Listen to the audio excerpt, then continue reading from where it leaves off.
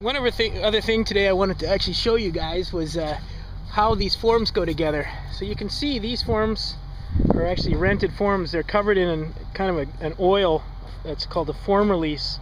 And so when the concrete pours down inside of these forms, forms peel off really nicely.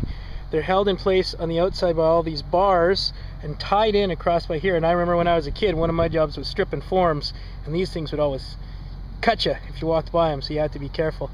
Now inside, you can see we've got lots of rebar. And I'll take you to a spot where it's a little bit easier to see.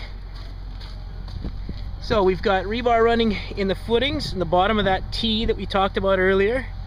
Two pieces on either side. And we've also got it in the curb wall.